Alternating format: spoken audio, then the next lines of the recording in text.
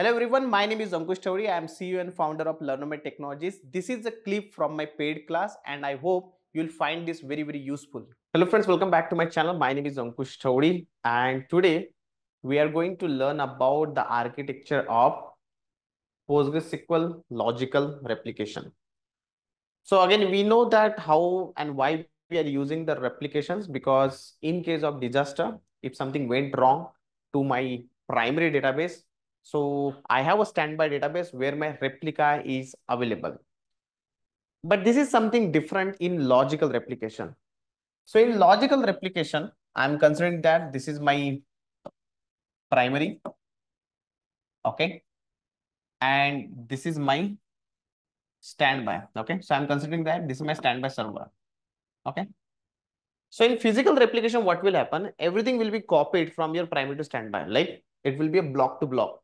Whatever changes you are doing here, whatever changes you are doing here, everything will be replicated on the standby. But in logical replication, you can define that what are all tables you want to replicate. So let's take an example. I created some table here. I'm just assuming that I have created some table here, T1 and T2.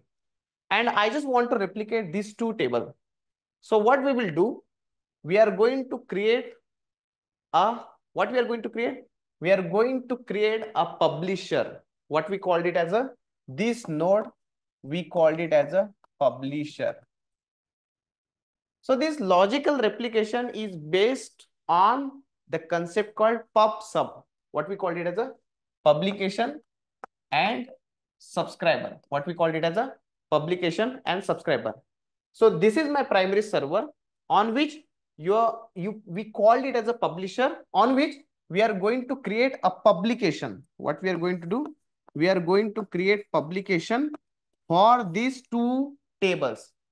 So this is a table number one and for this table number two, I'm going to create a publication on the master side or, or we called it as a primary side also. So remember one thing that this is a publisher node on which we are going to create a publication for this two table. But I want to replicate this two table from primary to standby. What I want to do, I want to replicate this two table from primary to standby. So so how it is happening? How it is happening? So on the standby side or which is my slave machine, you can have multiple slave machine. On this side, we, we are going to create what we are going to create. So here we are going to create subscription. What we are going to create? Subscription. And this node on which uh, this standby node, we called it as a subscriber. What we called it as a subscriber. So this is a publisher and this is a subscriber.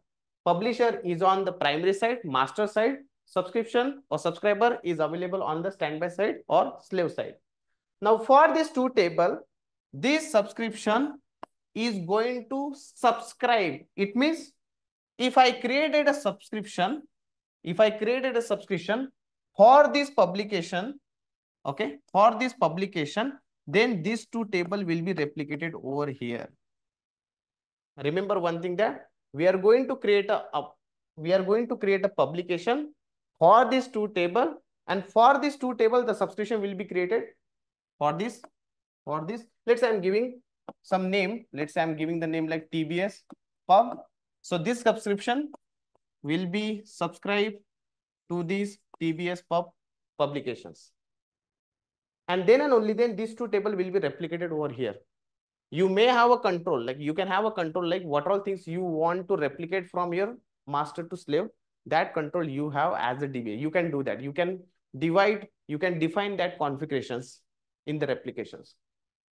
But you might have a questions like in the background, how it is happening, you know, you might have a questions, how this data, I, I understand that, okay, there is a publication, there is a subscription, this publication is basically having a changes. The changes are going to the standby side and they are going to subscribe that and they will get it. But how? There should be some background process, right? So let us try to understand about how internally it works. So as soon as you are going to create a publication, as soon as you are going to create a publication, here on your master slide, replication slot will be getting created automatically. What will be creating created? Replication slot. What does it do? Like whenever you are making changes on the primary, corresponding to that, the WAL files will get created, right? Whenever you are making changes to the database, corresponding to that, a transaction lock will be getting created. We call it as a WAL logs, right? But these WAL logs will not be directly sent it to the standby. The way it is created, it is not going to directly send it to the standby. What will happen? Internally, it will get decode. Decode means it will be converted into the some different type of language you consider.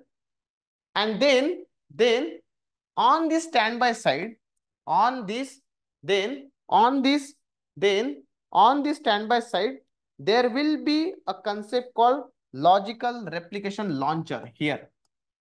Logical replication launcher. What will be there? We call it as a logical replication launcher. So what is the importance of this logical replication launcher? He is mainly responsible to replicate all the changes which are coming from your primary to standby. So whatever changes which are coming from your primary to standby, that will be replicated with the help of this logical replication launcher. Remember, logical replication launcher is available on your standby side. This is again a background process. On your standby side, on your primary side, you have a publication which you are going to create. As soon as you create a publication, corresponding replication slot will be getting created. So that changes, which is again your WAL files, your WAL logs will be decoded and it will be sent and it will be replicated by logical replication launcher. He is responsible for that. So this is a basic overview how your you know logical standby works. Again, we are going to learn about many many things. Uh, and obviously you might have questions like how you can configure get like you know we can we can see that things practically also. But again, if you are interested, you can just subscribe to this channel and you can join our WhatsApp group also. Still, if you have any questions, queries, anything, or if you're interested for the next video, please mention in the um, comment section as interested. We will definitely create that. At end, if you're looking for PostgreSQL DBA training, reach out to the Learnomate team. Thanks. I hope you guys have learned something valuable from this video.